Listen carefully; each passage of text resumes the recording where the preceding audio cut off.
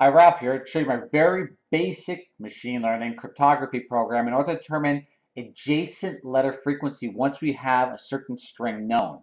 What it does is it takes a bunch of data, whatever you want to do, news articles, so on and so forth. For example, splits the words up and then those words into individual characters while maintaining the order. And then from there, for example, again, cryptography program, we hit this.